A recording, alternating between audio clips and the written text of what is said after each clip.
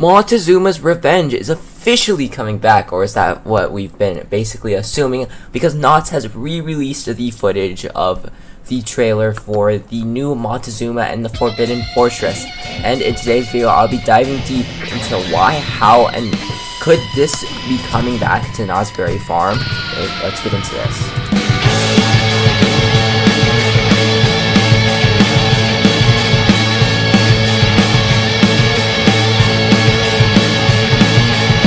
What's up guys, Cam here. Before we get into today's video, make sure to like, subscribe, and turn on all of those notifications. And let's get straight into this. So, Knott's Berry Farm is a giant amusement park in, so in Southern California. So, it's basically up with the likes of Six Flags Magic Mountain, Disneyland, and SeaWorld San Diego. But that is not what I want to get into in today's video let's get into what they have just released on the new on the Knott's Berry Farm YouTube channel. They have re-released the video of Montezuma and the Forbidden Fortress, and it's a lot of weird confusion around it because in the most recent like kind of thing that's been going on with Montezuma, it's been pretty wild because the, the site has been pretty bare the entire time and there's not really a lot of construction going on. As we know, KumbaK has been working on it. We don't know why they didn't go with like Intamin to redo it or a different manufacturer, or they just left it out how it is. They went with KumbaK because it was a price thing, and I just think that was a really bad idea because if they already knew that this was going to happen if they went cheap, then I don't like it.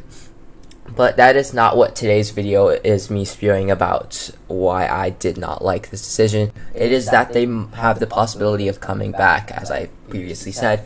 They re-released the video, and there's a lot of hype around it. There's a lot of things, as from what I've seen, there has been a lot of coverage around it that they've re-released it, as they say it's going to be done in 2025, and I haven't seen many YouTube channels cover it. The only YouTube channel I've seen cover it is Park Bros, and Park Bros is pretty big.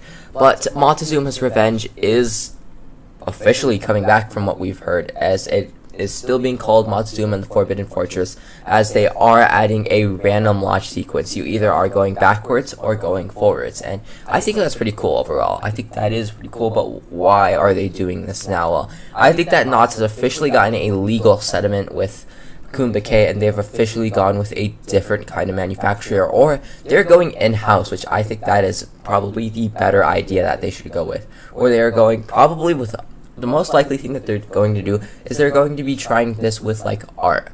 I think that they're going to do go with art engineering and they're going to redo this entire thing. But overall I think that this situation is pretty weird and I don't know what's going to happen to Montezuma. We could see more happening. I think that KumbaK might be suing Knott's, or Knott's maybe suing KumbaK again. But I really don't know what's going to happen with this situation. This is a quick news coverage for all of you that don't know what's happening. But that's it for today's video. I hope you all enjoyed. Make sure to like, subscribe, and turn on all of those notifications. And shout out to Airtime Thrills for this amazing off-ride footage. And I will see you all in the next one. Goodbye.